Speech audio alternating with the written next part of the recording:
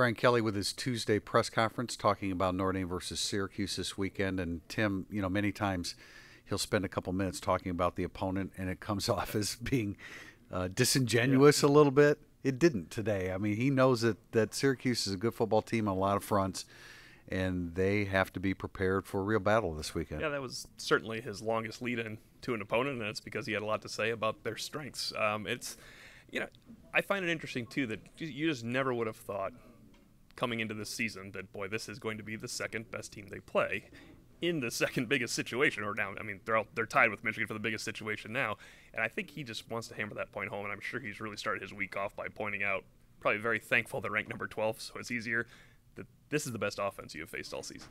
Yeah, and they can do some things defensively too with their pass rush and their third down conversion defense. But it was almost it was a, a, a bit of a foregone conclusion, I guess, that Ian Book would be ready to play. And when he was finally asked about Ian Book, and he pretty much put it to rest. Book uh, conditioned and lifted and threw the football on Monday. They don't actually have practice on Monday, at least not in this current format. Uh, but he fully expects him to play this weekend, and quite frankly, that's really, really good news for Notre Dame's offense against an opponent where you're probably going to have to score a bunch of points. Yeah, they're going to need plenty of points. My concern with Book is, I mean, he can look great all week, and Notre Dame's not allowed to hit him. We mentioned this in the podcast. Syracuse can. It's a rib injury. They'll protect it, but he, you know, Ian Book. I don't want to use the word reckless, but he is such a aggressive player. He does need his ability to run. That mm-hmm. that is part of what makes him as good as he is. Um, when Ian Book's healthy, they roll out of bed with 30 points. If Ian Book's healthy, you start with 30 points and you wonder where you go from there. And, and I think you're going to need that against Syracuse. Doesn't mean you need to score 40 points to beat Syracuse, but you certainly want some distance between sure. them. You don't want to turn it into a last possession game. Yeah. If, if you follow Irish Illustrated on Twitter, you know you, you saw the tweet this morning in which. Uh, um, you know, we indicated how many big plays that Syracuse has given up, and so Notre Dame a much more likely candidate with Ian Book in the lineup.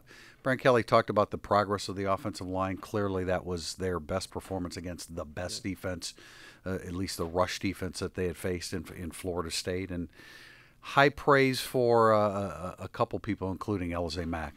He had, we talked about it. he had a great day, and it's really just it's good to see him go from completely you wondered if he was going to be one of the guys that didn't come back after last season because when you're suspended for the bowl game, I think a lot of people forget about that. It was suspended for, for conduct, basically he's emerged as a player that they want on the field. I mean, they, they use three tight ends, but if Alize Mack is healthy, he's the one that's out there the most. He's, he's become a blocker. He takes pride in it, and we're going to talk to him Wednesday. And I know he's probably looking forward to this conversation uh, Wednesday with the media a lot more than he has any other times he's had to come out here, where he always gets the questions about his past and such stuff like that. I think he's moved past that now, and he really had a great final home game uh, at Notre Dame Stadium. No doubt. And and Alize Mack, um, uh, Brian Kelly said that he doesn't use the word frustrated. He doesn't get frustrated with players anymore, and he uses the word yet a lot, as in he hasn't emerged yet, but he will. Um, so good to see that and, and, coming at the right time. And Alize Mack is a force as a blocker as well pretty much put the whole Yankee Stadium not being at Notre Dame Stadium behind him. Said that he did that months ago, and so Notre Dame heads to Yankee Stadium this weekend to play a a quality football team, one that uh, can can give up some yards and some points certainly, but uh, one that Notre Dame's going to have to be prepared to to, to stop offensively. We'll be back um, later in the week uh, and from Yankee Stadium when Notre Dame takes on Syracuse.